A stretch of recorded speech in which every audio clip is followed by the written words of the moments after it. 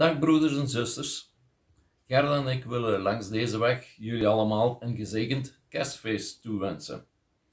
Nu, de meeste van ons hebben elkaar al een lange tijd niet meer gezien, maar toch mogen wij weten dat wij met elkaar verbonden zijn in Christus Jezus. In het hoge priesterlijke gebed in Johannes 17, daar zegt Jezus, Heilige Vader, bewaar hen in uw naam, welke gij mij gegeven hebt, dat zij één zijn zoals wij zijn. Dus we zijn één in de Heer Jezus door middel van de Heilige Geest.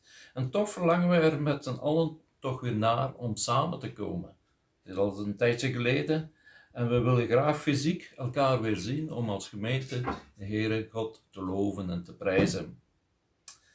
Maar men heeft ons die vrijheid tijdelijk afgenomen. Dus, maar dat neemt niet weg dat Hij er altijd is voor ons. Hij waakt over ons en hij zal ons zeker niet teleurstellen. Hij zal ons zeker terug bij elkaar brengen. Is het niet hier? Dan toch zeker later in zijn heerlijkheid bij hem. Nu, ik wil graag iets, iets kort uit, uit de Romeinenbrief lezen, uit hoofdstuk 8. Wie zal ons scheiden van de liefde van Christus? Verdrukking, of benauwdheid, of vervolging, of honger, of een virus, nu, dat heb ik zelf toegevoegd. Of naaktheid, of gevaar, of het zwaard. Gelijk geschreven staat, om uwentwil worden wij de ganse dag gedood.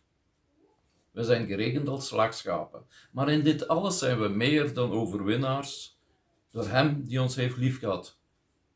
Want ik ben verzekerd dat nog dood, nog leven, nog machten, nog engelen, nog heden, nog toekomst, nog krachten, nog hoogte, nog diepte, nog enig ander schepsel ons zal kunnen scheiden van de liefde Gods, welke is in Christus Jezus. Nu, ik hoop dat dit gedeelte uit Gods woord jullie allemaal mag bemoedigen. Broers en zusters, dus ik zou zeggen, houd goede moed, volhard in het geloof. En misschien nog een laatste aanmoediging uit Hebreeën 12, vers 2. Daarom dan laten ook wij, en ik laat hier een klein gedeelte weg, met volharding de wedloop lopen die voor ons ligt.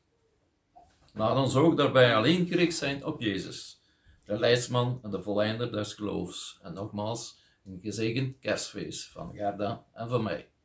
Houd vol, houd gezond, zou ik zeggen.